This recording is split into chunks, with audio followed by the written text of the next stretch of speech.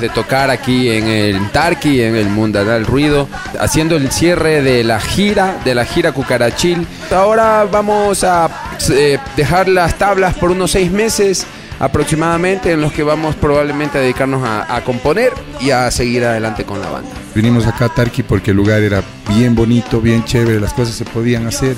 Tuvimos el acolite de todas las bandas, a ellos un abrazo muy grande porque son amigos de tablas y sabemos muy bien todo el trabajo que hay detrás de lo que ellos hacen, muestran, de lo que muestran hoy día. Todo estuvo a la altura, me parece, hasta ahora. Solo, solo muchas gracias a todos.